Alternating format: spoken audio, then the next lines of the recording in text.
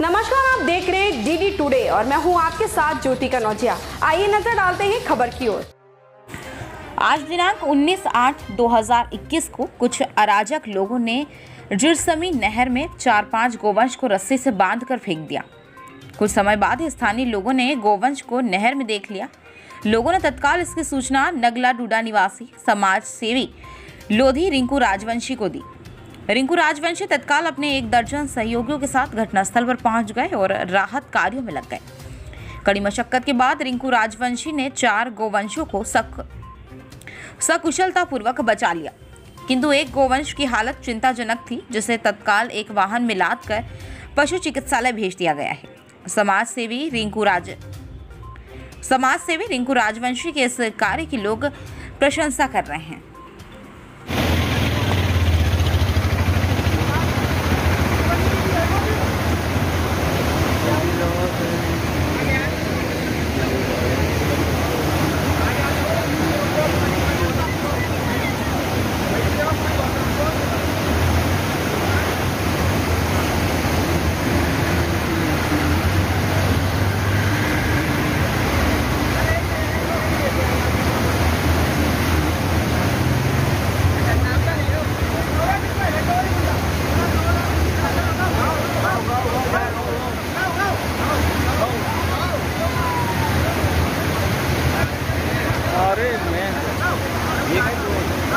अरे दो हैं ये कोई रह गई।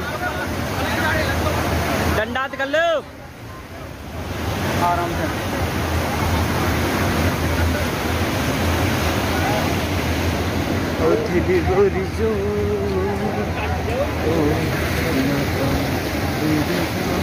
भाई इसमें एक गैया गिर गई है उसको निकालने का बहुत प्रयास किया जा रहा है।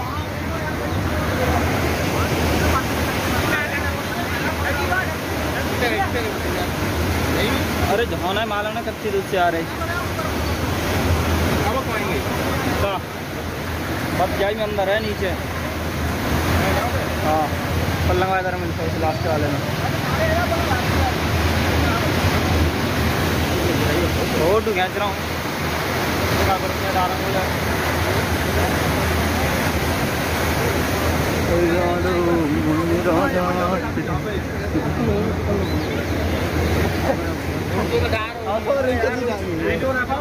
करूँ तो सही हो